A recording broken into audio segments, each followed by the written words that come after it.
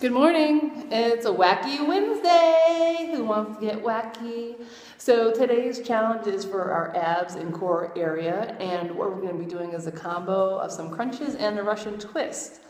So for Wacky Wednesday, if you want to take a picture, either doing one of those movements with uh, some kind of crazy hat on, or with some kind of weird furniture, or in a weird place you're going to submit your photos um, under the comments below, and we're all going to vote on who's got the wackiest day. And whoever wins will win a free um, sample of E&E Recovery or a free Shakeology Shaker Cup. Okay, so let's get wacky.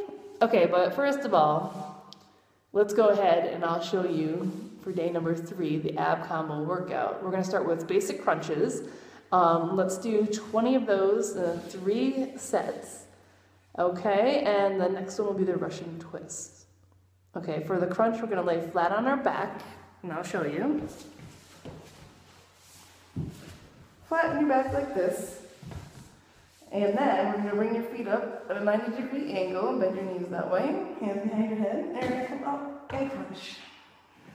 Crunch. Now remember to keep your lift your body still and just work those core muscles, okay? Keep them engaged and count to 20. If your neck is starting to bother you, try to play around with your position make sure you're not um, putting too much pressure on your neck or pulling it from your head. Okay?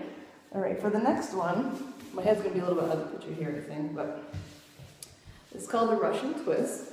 So you're to sit upright a little bit here to start, knees slightly bent, and lean back.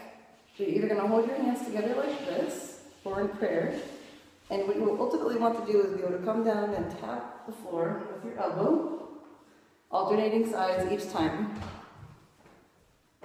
And if you're really ready for a challenge, or if you've done these before, you can also hold a dumbbell in your hand or something weighted to give yourself a little more of a challenge. And you can also lift your feet up and do it. All right, and let's do um, 20 reps of those also in three sets. And I hope you guys like the challenge. Have a great Wednesday. Can't wait to see your pictures.